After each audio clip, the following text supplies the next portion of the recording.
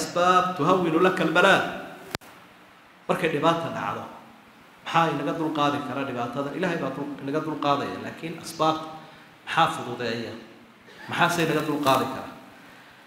Arrimahan aynu samaynaynaa si dhibkaasi oo inoogu fududaado waxyaabaha kaa kuu fududaynaya kuu sahlaya waxa ku haysta waxaa ka mid ah yaclam ana kaiira min alkhalqi akharu minhu balaa.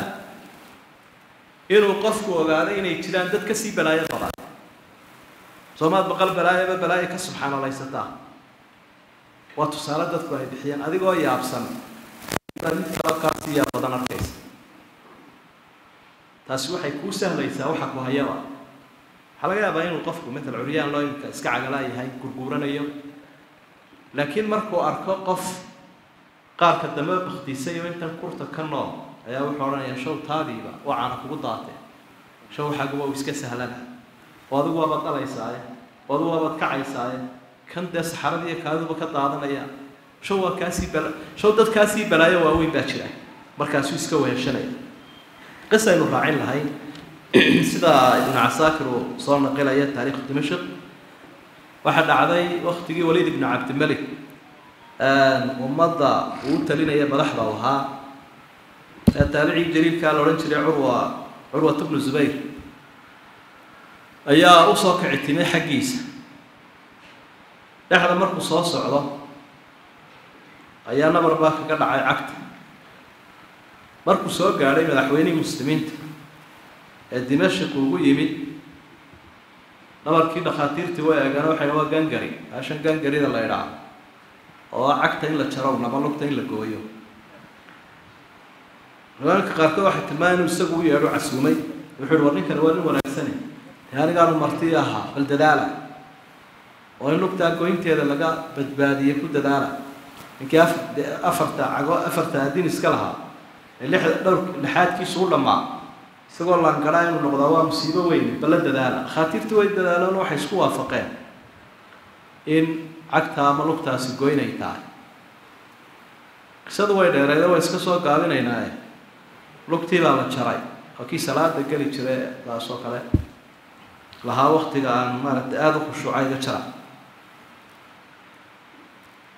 iyada oo uu la il daran yahay xanuunkii lugta ka haystay oo uu jiifo ayaa inamadiisii mid ka mid oo la socday. Ayaa xoogaa dalxiisa u baxay oo fardihii madaxda iyabuu soo eegeegay faras baaba beerka ka laaday oo u dhintayba inankiina. Tacsidii baa la isu raaciyey oo lugtiina waa laga tacsiyey inankaa dhintayna waa laga tacsiyey isaguna dee nin weyn buu ahaayo qiimo badanoo ilaahay buu umahadnaqa wuxuu ilaahay baa umahadnaqayaa toddobada inani siiyey lixii reebay midna iga dilay. Ilaahay baan umahadnaqayaa afarta labada cagood iyo labada adini siiya saddexii reebe mid iga qaaday. Raalli buu noqday. Iyadoo sidaa xaalkiisu yahay oo bogsigii uu sugayo ayaa maalin maalmaha ka mid a waliid ibnu cabdilmalik baa wuxuu tusay nin odayo halkaa fadhiya oo qisadiisa uu hayay oo loo sheegay. Curwo ninkaa u geeya buy tasliye iyo sabir ha ka helo hana ogaado. Dhibaatadiisa mid ka badaniba inay dadka qaarkood soo marto.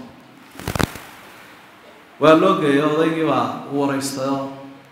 Odaygii wuxu wakti waktiyada ka mida waxaan ahaa dad iyo duunyo iyo caafimaadba mid haysta. Waa oday naloo meel fadhiya marka anagoo meel degan oo beeshu meel dooxa ay degan tahay oo dunyo badanna lagu haystaa daad weyn baa soo maray daadka rugmanaya weyn dadka iyaga iyo dunyada iyaga u qaaday wiil baa igu soo hadhay iyo awr wiilkii iyo awrkii ayaan dhinac u kaxeeyey awrkiibaa cararo soo celi baan is idhi wiilkiioo xagga dambe ka cabaadayaan maqlay dib baan ugu noqday mise ay bahalkan yeyga la ydhaaba cunayba waa kala jabiyeyba awrkii baan ka daba cararo indhuhu iga baaday saasaan ku indhabeelay buu awrkiina ma hayo inankiina dhimay. Reerkiina wuu ka sii horreeyey. Marka dad iyo dunyo iyo caafimaadba halkaasay wada mareen. Laakiin ilaahay buu umahadnaqayaa subxaana wa tacaala. Ilaahay siiye qalbi wanaagsan oo yaqiin leh iyo carab uu ilaahay ku xuso subxaana wa tacaala wuxuu uga jeeday markaa madaxweynaha muslimiinta ee curwo lahaa ninka ha waraysto inuu sabir sabirka uu qaatay inuu sii xoojiyo ogaado. Wax kasta oo cid ku timaado dhibaato ahaya dhib ka sii weynina inuu jiro. Waxyaabaha kuu sahlaya kuu fududaynaya dadkeena mid walba dee musbaarunbaa mid daba jooga iyo mid guda joogaba. Musbaarunbaa meel kaga taagan oo midba meel buu ka damqanayaa waxyaabaha kuu sahlayay ka mid tahay dadka kaa musiibooyin badan inaad eegto waxaa labaad inoo sahli kara inaynu xusuusanno siduu nebigu ina baray sala allahu calayhi wasalam musiibadii naga soo gaadhay geerida nebiga xadiid saxiixa nebigu waxau ihi idaa asaaba axadakum musiiba falyadkur musiibatahu bi fainahaa min acdami almasaa'ib. Marka mid idinka idinka mida dhibaata ku dhacdo ha xusuusto dhibaatadii ku timi ee geeridayda kaga timi dhibaatooyinka dadka muslimiintaa soo gaadhay bay ka mid tahay dhimashadii nebiga calayhi salaatu wasalaam. Wax la dareemo weeye. Waa dhib weyn oo muslimka soo gaadhay buu ahaa inuu nebi maxamed ummadda dhex joogay oo nuur dhex taagan u ahaa asxaabta ayaa ridwaanullaahi calayhim ka garaabayay oo xusayay isbeddelka ku yimi maalintuu dhintay nebigu calayhi salaatu wasalaam. Sidaa daraaddeed baa dadkeenu xayawaanada qaar bay odhan jireen geeridii nebigaba ma ogaa ama qofka qaafilnimadiisa markay ka sheekaynayaan waxay dhaha hebel waar geeridii nebigaba ma ogabe meel la isla maraya muxuu ogaan doonaa geeridii nebigaba ma yaqaan marka taasina waxyaabaha kuu fududayn kara weeye sidaa uu nabi rasuulku ina baray sala allahu calayhi wasalam waxay noo fududaynaya an naclam jazaa asaabiriin adkaysiga dhibaatada u adkaysano innagoo asbaabtii la imanayna aynu kaga bixi lahayn inaynu ogaano ajri weyn inuu ku jiro. Ilahay baa wuxu uhi innamaa yuwafa asaabiruuna ajrahum bigayri xisaab. Dadka sabraya abaalkooda. Waxaa ilaahay uu siinaya isagoo u badinaya oo aanu tirinayna u badin doonaa marka waxaynu ku bushaaraysanaynaa markaynu sabirno sabirka ajriga iyo abaalka weyne aynu ka helayno waxaa inoo fududaynaya an naclam annahu rubamaa yakunu libtilaau dafcan lisharin akbara minh waxaynu ku xisaabtamaynaa ogaanaynaa ama istusaynaa ama isku qancinaynaa dhibkan kugu dhaca inuu ilaahayba mid ka weyn kaaga riixay baa laga yaabaa oo dhibaatadan kugu timidba mid ka weyn ayaa ilaahay uu kugu bedelay markaa ilaahay baa kuu dooray subxaana wa tacaala sidaa daraaddeed baad ku sabraysa. Waxa aynu u sii gudbi lahayn oo qodobka kale lixaad uu yahay umuur baa jirta iyo arrimo. Ilaahay balaayada uu inaga dul qaadayo arrimaha sababtooda ama uu inoogu fududaynayo. Waxaa kowkaa adducaa ducada aynu rabbi baryayna subxaana wa tacaala inaynu ilaahay barino mar walba waynu u taagani. Marka dhibku haystana waad ku dadaalaysa. Cid kale iyo ciirsi kale toona malihid cidhiidhiga aada gasho iyo cabsida kugu timaada mar walba ilaahay baynu subxaana wa tacaala baryaynaa inuu inaga dulqaado waana hadyiga ambiyada. Qur'aanku arrinka uu ina barayo. Tale haddaad akhrido suurat lambiyaa waxaad arkaysaa imtixaanka ambiyada soo maray oo mid waliba uu qayladoon u diranayo ilaahay subxaana wa tacaala. Ilaahayna si deg dega uu uga dulqaadayo. Wa nuuxan id naadaa min qabl fastajabnaa lahu wanajaynaahu ahlahu min alkarbi alcadiim. Fanajaynaahu ahlahu min alkarbi alcadiim. Nebi nuux baa noo dhawaaqay baa ilaahay ui waxaa markiiba ku xiga fastajabnaa lahu. Waanu aqbalay ducadiisa وعكوحيغا وأيوب إذ نادى ربه أني مسني الضر وأنت أرحم الراحمين. فاستجرنا له فكشفنا ما به من ضر. وعكسيحيغا وذنون إذ ذهب مغاضبا فظن أن لن نقدر عليه فنادى في الظلمات أن لا إله إلا أنت. سبحانك إني كنت من الظالمين. مركا مذ والبا واحد فاستجرنا فاستجرنا. Taasi waxay tilmaamaysaa qayladoonka. Aada ilaahay u dirata subxaana wa tacaala inuu ilaahay si dhaqsaa u aqbalayo. Markuu qofku si daacada oo iyo qalbi soo jeeda ilaahay ku baryo ilaahayna si dhaqsaa ayuu ugu gurmanayaa. Sidaa ibtilaaga waa ambiyadii mid uu ka cabanaya cadow midna wuxuu ka cabanayaa cidhiidhi ku yimi mid kale wuxuu ka cabanayaa cudur mid kale carruur la'aan buu ka cabanaya. Intiiba ilaahay baa ka caawiyey. Marka dhibaata ay timaado waxa ilaahay uu naga dulqaadayaa ducada. Wuxuu ilaahay naga dulqaadayaa oo asbaabta uu ku qaado ama ku fudeeyo kamida waxa ka asalaa inaynu salaada ku dadaalno faralku sidiisu u qorshaysmaabee sunnahaynu aada u badinaynaa xadiidkii xasanka min xadiidi xudayfa ee uu axmed warinayay anas wuxuu leeyahy kaana sala allahu calayhi wasalam idaa xasaba amru salla. Marka uu nebiga arrin murugo geliyo ama arrin ku yimaado salaadu buu dhaqaaqi jiray. Wastaciinuu bisabri wasalaa ilaahay baa wuxuu leeyahy dhibaatada idinku timaada sabirka iyo salaada gargaarsada. Waxaa ka mid ah sadaqada oo iyadana salafuna saalix ay ku dadaali jireen had iyo jeer. Marka taariikhdooda akhrido oo dhibka lagu daaweyn jiray daawuu mardaakum bisadaqa. Xadiidkaasina kolley waa daciif laakiin isaga qudhiisu waxa uu tilmaamayaa in lagu daweeyo dadka buka sadaqada. Waxaa ka mid a tilaawat lqur'aan wanunazilu min alqur'aani maa huwa shifaan waraxma qur'aankii waxaan soo dejinayaa baa ilahay ui isagoo naxariis isagoo caafimaada marka caafimaadkii jidhka iyo caafimaadkii ruuxda labadaba uu yahay. Nabiyullaahi moxamed sala allahu calayhi wasalam oo qur'aanku uu ku soo degay habeen iyo maalinba uu isku daaweynaya habeenkii markuu seexanaya waa ka ku akhriyaya kadibna jidhkiisa marinaya isagii lagu soo dejiyaa isku daaweynaya innagana waxaa laga yaabaa duruuf adag aynati inaynu dhakhtarka ku warwareegno markaynu soo quusanno kadib la idhaa qur'aan hala saaro ama ha lagu akriyo waxaa ka mid ah istirjaaca dikriga qur'aanku ina bara inaa lilaahi wa inaa ilayhi raajicuun. Inaad dikrigaa la timaado qur'aanku ina barayo sidaas mayay nusuustu xoojinaysa arrimahaas. Waa arrimuhu ilaahay ku inaga dulqaadayo duruuftiiyo dhibka inahayo dhan walba ama inoogu fududaynayo cinda alkusuuf markay qoraxda iyo dayixu madoobaadaan nabigu calayhi salaatu wasalaam asxaabta wuxuu ku lahaa faidaa ra'aytum dalik fadcu llah wakabiruu watasadaquu wasalluu xadiidkii saxiixayn. Marka aragtaan qoraxdoo madoobaatay ama dayaxoo madoobaaday ilaahay barya allahu akbarta badiya sadaqada badiya balaayada ilahay idinka dulqaaday salaadana badiya.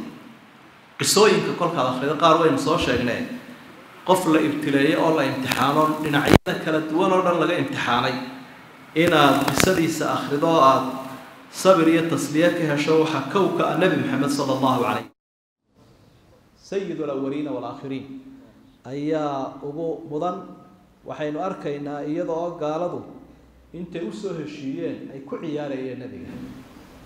Oo madaxiisa ay saarayeen mandheerti ama mindhiqirkii neefka baktiyey ayay dusha ka saarayeen nebigoo sujuudsan sala allahu calayhi wasalam waxaynu arkaynaa rasuulkoo dariida oo la eriyey oo laga eriyey deegaankii oo aada u jeclaa iyo dalkiisii iyo dadkiisii intiiba laga dhex eriyey. Iyadoo ilaahay subxaana wa tacaala uu soo dirayay malaa'igtii u hiilinayay ee haddii uu doono u amro buuraha ku dhufanaya marka tusaalayaasha nabiga calayhi salaatu wasalaam aynu ka helayno aada bay u badan yihiin sheegaya qisooyinka ama siirada rasuulka sala allahu calayhi wasalam asxaabtiisuna sidaasoo kale ay ahaayeen. Waan filaya ina axaadiidta ka akrideen tusaale waxaa ugu filan dumarkeenna umu sulaym oo xaaskii abu dalxa ah inan baa ka bukooday. Xadiidkii saxiixa inankaasi markii uu bukooday odaygu waa iska tegay mar dambuu soo noqday wuxu uhi inankii ka waran xaaladda ugu ugu deganaa buu ku jiraabay ti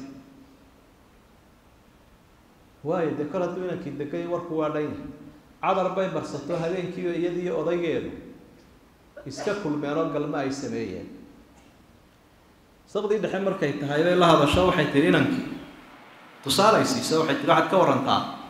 Haddii qola alaab ka soo caariyeystaan qolo kale oo qoladii alaabta laga soo irgisaystay ama laga soo ammaanaystay ay yidhaahdaan alaabtiina siiya oo qoladaasi ay iska cadhaysiiyaan ka waran dee sax mahabu way qaldayn hor hadday marka horeba alaabtan caariye ku haysteen ama ay soo ammaanaysteen dee inay iska celiyaan wey haddaba inankani ammaanu inagu ahaa inankeenni wuu dhintay meydkiisiiba halkaa yaalla ka sabir haddaba waa intii ay jimaac iyo galmo sameeyeen kadib. Nebigu u tegay subaxdii sala allahu calayhi wasalam nebigana ilaahay baa u sii sheegay in arrinku sidaa u dhaco sabirkoodu halkaa gaadhsiisan yahay kulankoodaasi ugu duceeyey ilaahayna waa u aqbalay ducada ninkii reer ansaareeda qisada warinayaa wuxuu leeyahy waxaan arkay inankaa ay waayeen sida quruxda badan ay uga sabreen labada asxaabi iyadoo ilaahay ugu bedelay toddoba sagaal wiil oo intuba qur'aanka ay akhriyeen ama xufaad ay yihiin. Mid bay waayeen laakiin markay samreen ilaahay sagaal buu siiyey. Heerkaa wada gaadhsiisan oo aqoontaa diineed leh. Marka ruuxa dumarka ah marka ilmaheeda weyda halka dumarka qaarkood dhulka isla dhaca ay qaadan waa ku dhaco waa qisooyinka xoojinaya sabirkooda. Iimaanka qofkaasi aan ku gaarsiisay balmeyd baa ag yaalla. Markaasay sida ninkeedii u qancinaysa markaasay liqaagan iyo kulankan ay ilaahay wax kaga rajaynaysa ay samaynaysaa iimaanka qofkaasi halku gaarsiisay waa runtii mid aynu odhan karno qawiyahoo qaralahoo qanjahan jooga wey oo aada iyo aad u la yaab leh waxaa ka mid a ruuxii dumarka ahayd ee iyaduna ibnu cabaas uu qisadeeda ka warramaya cadaa bn abi rabax ayaa wuxuu ihi maalin maalmaha ka mid a ayaa asxaabiga cabdillahi bnu cabaas abaa wuxuu igu yidhi buu ihi markuu tusiyaa ruux dumara oo iyadoo ifkan ifkan socota adduunyada ahlu janna ah haayay tusi maayo waa gabadhaas. Way xanuunsan jirta way suuxi jirta way dhici jirta nabigay la hadashay sala allahu calayhi wasalam ilaahay bari inuu icaafiyo wuxuu nabigu ku yihi sala allahu calayhi wasalam haddaad doonto ilaahay uu ku caafiyo intuu kuu duceeyo haddaad doontana cudurkaad iskaga sabriyo jannaad leedahay. Marka waxay tii kol haddaad jannaba sheegtay eegad. Asxaabtu say u fikray hankoodu sidii u weynaa. Caafimaadka iyo cuudka iyo xoolahaas waxaas kuma weyneyn. Laakiin waxaa ku weynaa raali noqoshaha ilaahay iyo jannada inay helaan oo mustaqbalka iyo masiirka dambe u hagaago.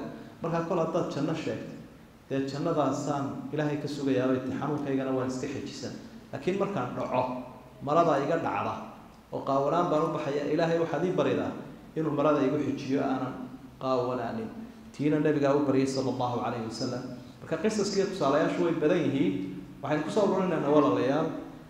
Qofka muuminka uu ka duwanya marka dhibaata ama imtixaan uu ku yimaado dhan kastaba noloshaan kaga yimaada qofka gaalka ah.